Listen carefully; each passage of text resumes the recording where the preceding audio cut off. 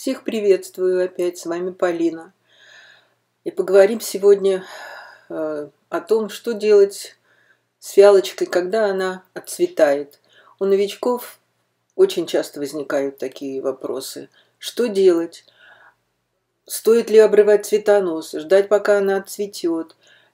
И имеет ли это смысл? Ну вот я хочу показать вот эту свою фиалку, которая отцветает. Вот я только что показала вам, какой там листик у нее остался, вернее, какой он стал.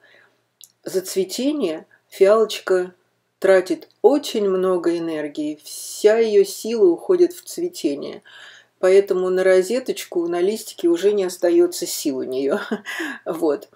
Но вот э, этот бутончик еще не раскрылся, но фиалка уже в таком состоянии, что ждать этого не имеет смысла.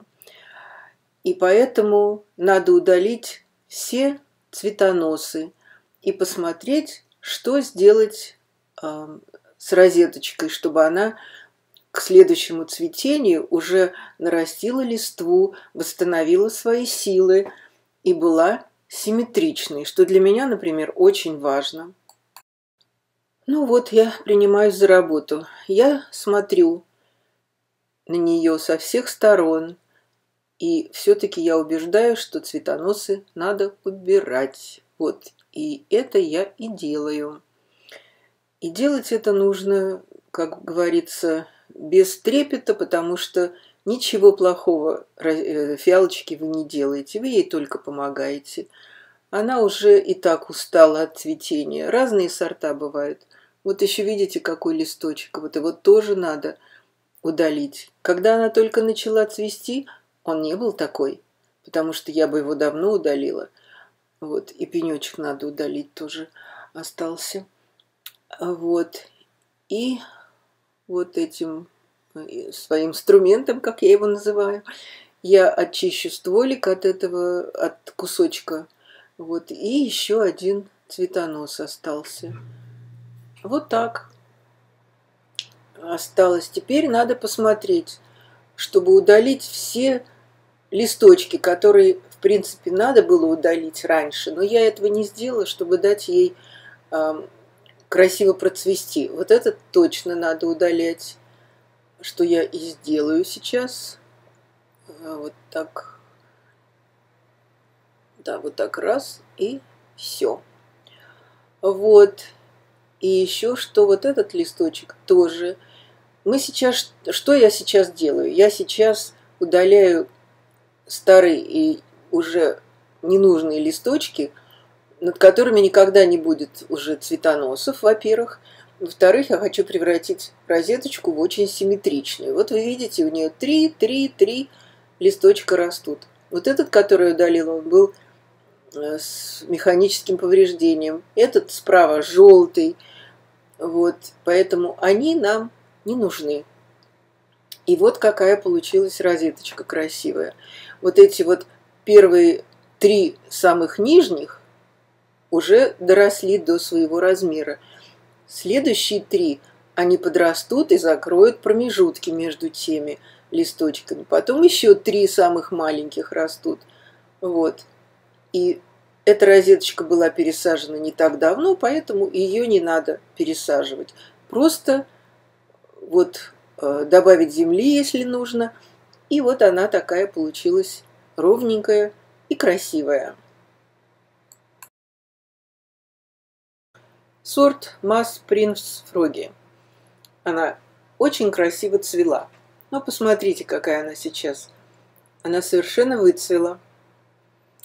И никакой красоты уже в ней нет. Вот один цветочек только сохранил там какой-то цвет на, э, пару лепес... на паре лепесточков. В этом случае никакого смысла нет сохранять. И чтобы она тратила свои силы на вот эти вот уже отцветшие а, цветочки. Поэтому их нужно удалить обязательно и тоже привести розеточку в порядок. Вот вы видите, там маленький листочек под большим, и вот еще один маленький. Это все кандидаты на удаление. И этот, видите, большой сверху, а маленький снизу, что неправильно. Такого не должно быть у фиалочек. Поэтому я сейчас буду удалять цветоносы и потом посмотрю, какие листочки нужно точно удалить, а какие можно оставить, чтобы сделать ее симметричной. Ну вот, начну. И опять же я говорю, делайте это, пожалуйста, без трепета, без сожалений, потому что вы не вредите фиалочке. Вы ей только помогаете. Вот, и еще один остался. Вот так, вот. Видите, он совершенно белый просто. Ну, никакого, никакой красоты уже в нем нет. Так, теперь какие листочки надо удалить? Сейчас. Вот этот точно. Он самый маленький.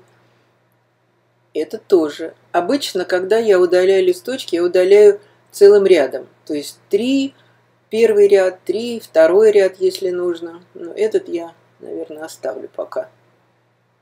Не знаю. Сейчас я посмотрю. Ну вот этот точно надо удалить. Так, и вот этот, видите, он маленький, он желтый, нехороший, то есть его сохранять не имеет никакого смысла. Вот видите, центр уже растет с пестролистностью, а эти все листья, они эм, да, наверное, надо удалить, они не... У них нет сортовой пестролистности ярко выраженной. Может быть, было жарко, может быть... Эм, эм, да, я вот все, наверное, хватит. Э, было жарко, или землю я недостаточно ей было питания, не знаю. Я буду за ней следить. А, вот там еще, видите, Лезет цветонос, но его надо обязательно удалить тоже. Потому что никакого смысла нет. Ой, и пенечек там остался. Надо все остаточки удалить, чтобы не загнили. Вот так. Вот. И оттуда. Ну да. Вот. И я бы еще и один удалила, конечно. Вот слева который листочек. Вот, вот этот вот. Я бы его удалила. Но я пока его оставлю всегда можно удалить, а вот приделать уже нельзя. Вот. Вот такая вот получилась розеточка. Да, надо все-таки, наверное, будет удалить этот со временем. Но пока она выглядит совсем неплохо. Она была пересажена не так давно, поэтому я просто добавлю земли немножечко сверху.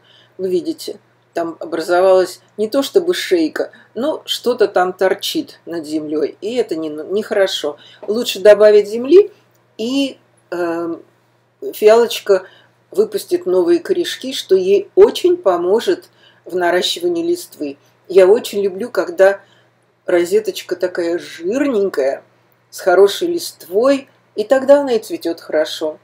Вот такая вот у меня получилась фиалочка. Это Ян Каприз. Он выпустил только пару цветоносов с цветочком э, на каждом. И это, конечно, не то, что я хочу видеть, но он выпустил это после покупки. Я купила его вот уже таким большим. Вот. Процвел он по сорту, я в этом убедилась. Теперь можно заниматься уходом, обработкой. Вот. И я обязательно их удалю, эти цветоносы. Удалю и дам розетке э, набрать силы для следующего цветения. И, конечно, она у меня будет стоять, э, как всегда, на фитиле и с подкормкой обязательно. Вот, цветочек хороший, э, бронзовая каемочка, то, что нужно – но я совершенно не удовлетворена розеткой. Вы видите, лист старый. Я не знаю, как хозяйка, когда хозяйка последний раз удаляла старые листья. Вот, но я не травмировала розеточку, когда только купила. Вот, а этот, видите, вообще с повреждением. с механическим. Вот новые листики уже растут хорошие, в центре это уже выросли у меня, поэтому я опять же говорю, без сожаления, пожалуйста, удаляйте такие листочки. Вы ничего плохого, вот пенечек удалить надо, вы ничего плохого розеточки не делаете. Фиалки это только на пользу пойдет. Вот. И этот, конечно, уходит. Это сто процентов уходит. Так, сейчас я посмотрю, что еще можно удалить, а что не надо удалять. Ну вот этот вот можно было бы, конечно, удалить. Нет, вот эти остаются. Этот я бы, конечно, хотела удалить, но я все-таки его оставлю. Все-таки каждый листочек выполняет свою задачу. Он какую-то пользу приносит. Поэтому вот я его оставлю и она будет наращивать свою листву, но ее нужно будет пересадить все-таки, потому что а, розетка уже крупная, и у нее шейка толстенькая, это не подросток, как говорится, так что ей нужна пересадка. А это фотографии цветения в начале этих фиалочек, которые я вам показала. Это Эй, Аи Кенди, потом идет Мас Принц Фроги, а последняя это Ян Каприз. А, надеюсь, вам было интересно и полезно узнать то, что я вам рассказала. И теперь у вас не будет проблем, что делать с фиалочкой, когда она начинает отцветать. Это и меня мучило, когда я только начинала заниматься фиалками, что было 10 лет назад. Так что, поверьте моему опыту, все, что я вам сегодня рассказала, имеет под собой основу, и это из моего опыта. Как всегда, я ни на чем не настаиваю, а просто делюсь с вами своим опытом и знаниями. Всего хорошего, пышного цветения вашим фиалочкам. И не расстраивайтесь, когда приходится удалять цветоносы и листочки. Ничего плохого, опять же я говорю, вы не делаете своим фиалочкам. Заходите ко мне, подписывайтесь и, пожалуйста, не забудьте поставить лайки. Они очень старались, и я тоже. Пока-пока.